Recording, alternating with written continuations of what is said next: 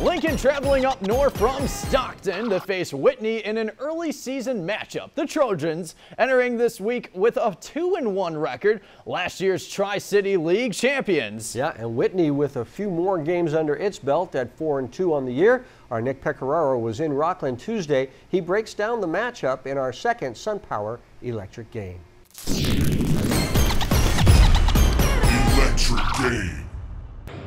Nick Pecoraro here with our first SunPower Electric girls basketball game of the season. It's a solid non-league matchup between teams from two of the toughest leagues in the whole section. It's the Lincoln Trojans taking on the Whitney Wildcats. Whitney comes in at 4 and 2, led by a national recruit, Harper Peterson. The junior forward has offers from major D1 schools from the ACC to the Pac-12 to the Ivy League. Lincoln, meanwhile, looks to build on two NorCal playoff wins from last year. Senior Serenity Santos comes in at better than 18 points per game, while junior Amya Griffin brings effort and toughness to both ends of the floor for the Trojans.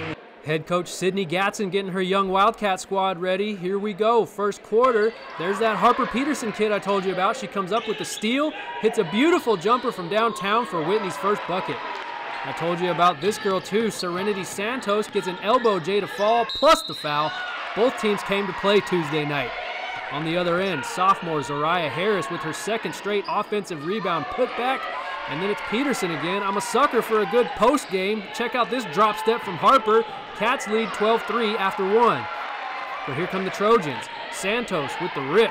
She goes coast to coast for the easy lay-in. That gets the ball rolling for Lincoln. And then it's Amya Griffin with the strong drive and the lefty finish at the rack. Trojans are starting to close in. Griffin's off the mark this time, but her teammate Lailah Leonard Roberts is there to clean up the miss, and we're all tied up at 17. But Whitney closes the half on a 9-2 run as Sammy Schuler finds a cutting Natalia Benavidez, 26-19 Cats at the break. Third quarter now, Whitney comes out firing. Kendall Dykstra from the corner. Splish.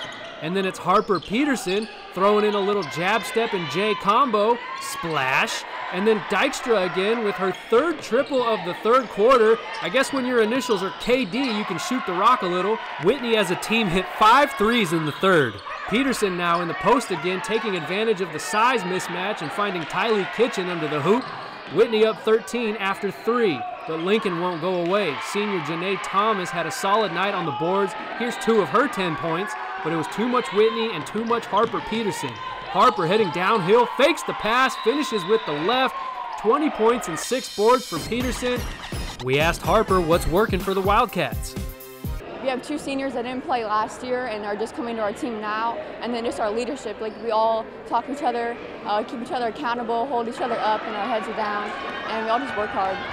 With our SunPower Electric game, Nick Pecoraro, 49ers Sac-Hi Sports.